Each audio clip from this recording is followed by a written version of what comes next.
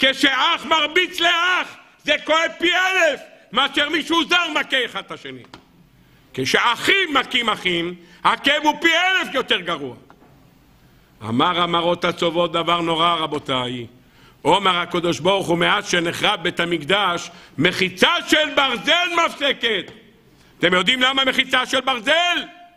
כשאח מרביץ לאח, יוצר מחיצה של ברזל.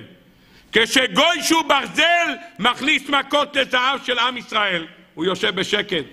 כי הוא יודע שהוא ברזל אחר בחותיכיה. זה איסוב, זה ישמואל. שהוא מרביץ לנו זה פחות כואב ממה שאח מרביץ לאח. שנאת אחים יוצרת מחיצה של ברזל.